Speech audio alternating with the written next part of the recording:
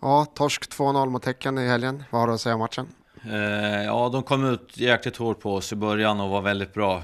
Eh, och får 1-0 efter 8 minuter ungefär. Och då sköljde de över oss rätt så, så kraftigt. Men sen tycker jag att det är starkt av oss att komma tillbaka som vi gör. Och eh, vi har eh, fyra stora målchanser i, i första halvlek där.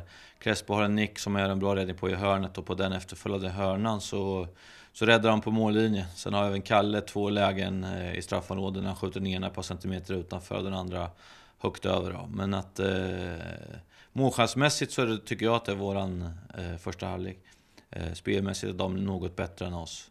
Eh, sen i andra halvlek så kommer vi ut rätt så bra, men sen så släpper vi in 2-0 tidigt efter lite slarv efter en fast.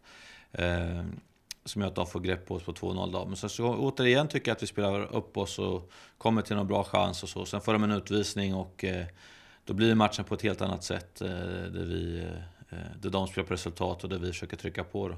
Den forceringen var vi kanske inte helt nöjda med men eh, stora hela så gör vi en helt okej okay match mot ett eh, väldigt bra Häcken. Lite ny anfallskonstellation där med, eh, med Crespo och Kalle. Vad har du att säga om dem?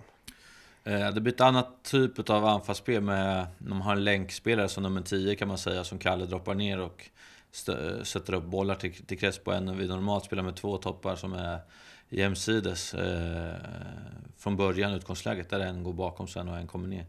Eh, blir ett eh, lite tydligare försvarsspel kanske och även tydligare anfallsspel kanske också på ett sätt men eh, vi har ju vi har ju många olika konstellationer som vi kan använda och det passade bra att prova den här matchen säger ingenting om hur det blir i fortsättningen, utan det var bra, bra, en bra test att kolla.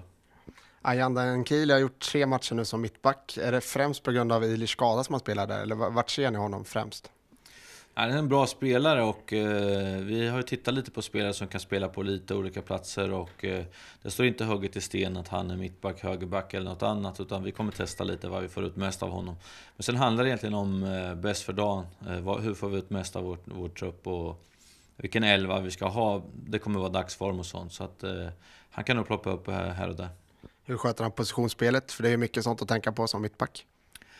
Han löser rätt så mycket på att han är en väldigt duktig spelare just nu. Det är väl inte 100% mellan han och Mange, men det vore konstigt om det var det med tanke på så kort tid de har spelat ihop och tränat ihop. Eh, men som sagt, han löser många saker på att han är så pass duktig än så länge. Så att eh, positionsspelet jobbar vi med dagligen, så att eh, det kommer komma in i det. Häcken då, blir de ett topplag år tror du? Det blir de garanterat för att de har kommit långt i sitt spel och de har många spelare på många positioner och tycker mig se att eh, det finns en hel del spännande spelare där så att de är i toppen. Något annat du vill lyfta fram från matchen? Lite Örebro-supportrar på plats? Ja, jag fick mycket beröm av folk som jag satt nära. Att, eh, de frågade vad jag hade betalat för de där 30-50 som var där från Örebro. Det var fantastiskt. De höll låda hela tiden. Och att det är urstarkt av dem att komma när, när många tycker att det är en betydelselös match. Men det visar de hjärta och eh, de körde på hela matchen på ett fantastiskt sätt. Så jag såg till och med att Samuel vid något eh, läge vände som applåderade för han tyckte de var så härliga. Så att det är perfekt, det är sånt där vi behöver.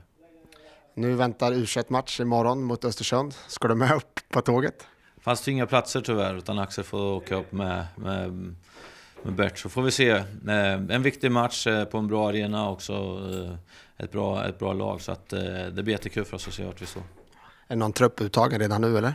Nej, de håller på fortfarande och lite kolla på hur vi ska få ut det här från de andra trupperna också. Så att eh, imorgon bitti vet vi. Eh, jag har gått igenom lite motståndare i Superettan, men sen så har jag lite fotbollsgodis på i bakgrunden när SA-15 slog Liverpool ganska enkelt i helgen. Han du se matchen? Den krockade med Häcken-matchen va? Ja, jag hade den på inspelning så jag såg den när jag kom hem, men eh, jag hade den också så jag kunde lyssna på den efterhand på radio så att det var jävligt skönt. Ny coach fick ju Southampton här för eh, någon månad sedan. Det var lite rabalder då. Vad är din känsla kring det? Nej, det är lite som jag sa, om man, om man kör med hjärtat så är det klart att det var jobbigt eh, när Atkins har tagit upp sig 15 på två säsonger rakt upp eh, från League One till, till Premier League och gör det rätt så bra. Men var väl lite naiv i vissa saker och kanske speciellt nyförvärv och, och, och lite spelsätt så. så att, Eh, när de tog in den här killen så, om man inte tänker med hjärtat så, så var det rätt beslut. Men eh, som sagt, det är alltid svårt det där med, med hjärta och inte.